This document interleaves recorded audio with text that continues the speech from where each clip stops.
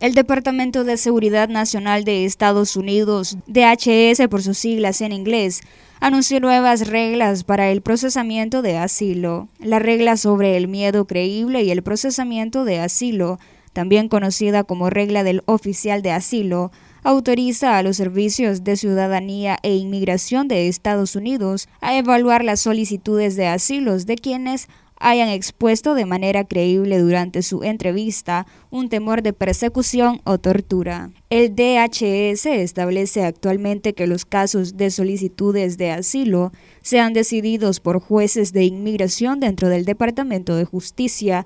Sin embargo, Seguridad Nacional dice que hay numerosos retrasos y que toma varios años en promedio que un juez vea un caso. Las nuevas reglas para la solicitud de asilo establecen que un oficial de inmigración pueda decidir inicialmente sobre el miedo creíble y aplican solo quienes sean colocados en procedimiento de deportación acelerada después del 31 de mayo de este 2022, según el DHS. La regla del oficial de asilo solo aplica a los adultos y aquellas familias que sean colocados en deportación acelerada y que expresen temor a la persecución o tortura o temor a regresar a su país de origen.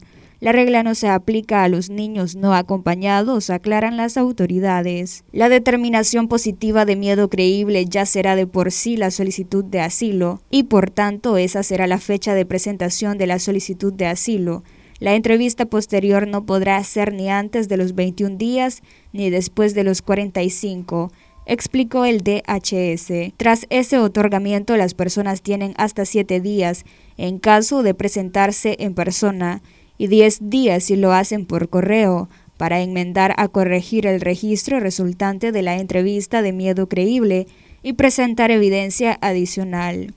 Si UCIS encuentra que la persona es elegible para asilo, la persona recibirá una carta de concesión que le informará sobre los beneficios aplicables y los procedimientos relacionados, indicaron las autoridades. Si UCIS no otorga asilo, la agencia remitirá el caso al Departamento de Justicia con una evaluación en función de las pruebas presentadas. En estos casos, el oficial de asilo incluirá su determinación de si el solicitante principal demostró elegibilidad para la retención o el aplazamiento de la deportación, basándose únicamente en la evidencia presentada. Si el oficial de asilo no encontró a la persona elegible para la retención, o el aplazamiento de la deportación.